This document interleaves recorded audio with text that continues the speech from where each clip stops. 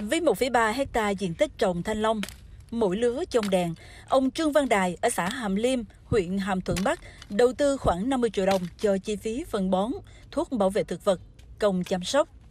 Vậy nhưng đến khi thu hoạch, giá thanh long chỉ còn 1.000 đồng một ký. Ông Đài lỗ hơn 40 triệu đồng. Cố gắng duy trì vườn thanh long nhưng không đủ vốn đầu tư. Ông Đài phải phá bỏ bớt 4.000 mét vuông để tiết giảm chi phí. Mấy năm ấy thì một phân 600 ngàn thì nay nó một triệu mấy. Hoặc tư ừ, phân bón, kể cả ngày công lao động thì ờ, giá cả đều nó lên cao. Cho nên làm mà cái giá cả thanh long như thế này à, làm nó không có cái lợi ích thua lỗ nhiều quá bây giờ phải phá để rồi có trả cho ngân hàng. So với năm 2021, giá phân bón hiện nay đã tăng gần 50%, giá thuốc bảo vệ thực vật cũng tăng 20 đến 30%. Chi phí đầu tư tăng cao, nhưng thanh long đến kỳ thu hoạch không có đầu ra hoặc bán với giá quá thấp.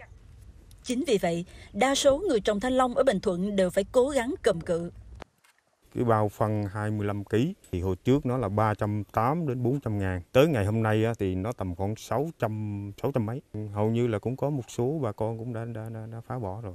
Mà mình thì mình nói mình phá bỏ thì thì buồn lắm. Cố gắng kệ nó cứ theo trong chờ cơ quan chức năng ờ, vào cuộc sớm ổn định cho bà con có được cái đầu ra ổn định. Ủy ban nhân tỉnh cũng đã có cái quan tâm và cũng có chỉ đạo cho các sở ngành có liên quan cũng như kiến nghị đến trung ương về vấn đề thuế, ngân hàng, tiền điện can thiệp vào giá vật tư. Đã có nhiều hộ dân trồng thanh long ở Bình Thuận phải phá bỏ vườn vì không thể cầm cự do thua lỗ. Trước tình hình này, các cơ quan chức năng khuyến cáo nhà vườn nên trồng rải vụ, giảm đầu tư, thay thế phân bón vô cơ bằng phân bón hữu cơ để tiết kiệm chi phí đầu vào.